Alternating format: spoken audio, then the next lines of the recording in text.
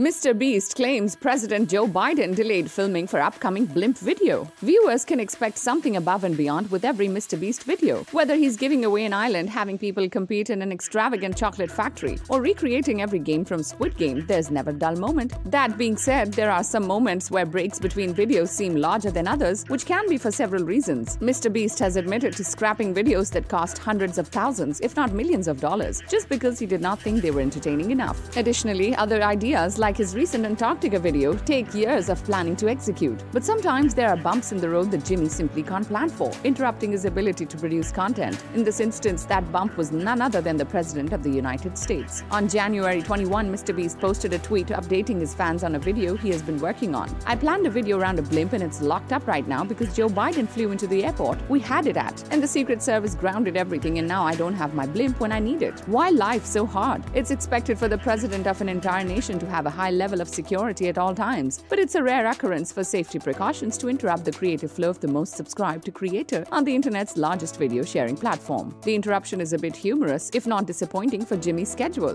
However, now fans are curious to know what Mr. Beast has in store given it involves a blimp. Subscribe to our channel for the latest on your favorite celebrities. Like, comment, and share, and don't forget to press the bell icon for notifications.